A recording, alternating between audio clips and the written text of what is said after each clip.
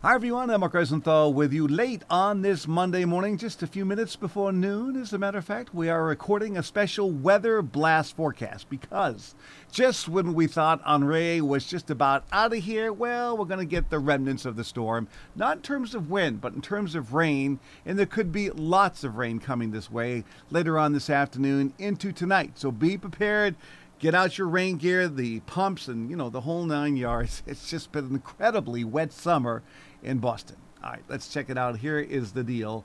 Watches and warnings in green. We have a flood watch from Concord, New Hampshire to Fitchburg, Worcester, Providence, west out in the Berkshires, much of Connecticut, where they've had over five inches of rain from this storm alone, and more is coming. Now, it's very warm and muggy as of midday. Temps running 75 to 80. The heat continues well off to the south. Cool, dry air. Look at that in the north.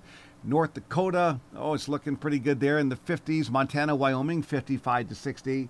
It would be nice to get some of that in here, wouldn't it? But look at the latest satellite loop. Look at that impressive swirl in the lower Hudson Valley. That is the remains of Henri, and that's coming this way. Lots of tropical moisture. So any sun we see this afternoon is going to fuel the very unstable atmosphere, which is just juiced with water vapor, and that spells big problems. Let's look at the latest radar loop from Chatham. Is at about 20 to 12.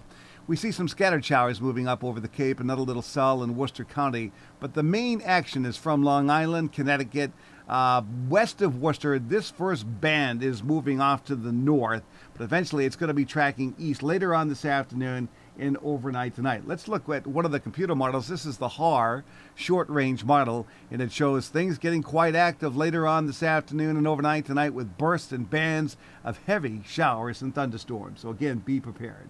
Seven day forecast for Boston goes like this. For today, building clouds, watch for showers and storms coming in. It'll be 77 to 84 showers and storms overnight. They'll end before dawn tomorrow. And tomorrow may start off murky, but then it's hazy, hot, and muggy temperatures in the 80s, 80s to near 90 throughout much of the upcoming week, folks. So I'll tell you what, if you're on vacation this week, and you like hot and steamy weather, you're going to love the forecast. There are some signs it could be drying out here by late in the week in the first half of the weekend. We shall see. That is my forecast. Thanks for checking in. Please stay tuned for updates. I'm Mark Rosenthal.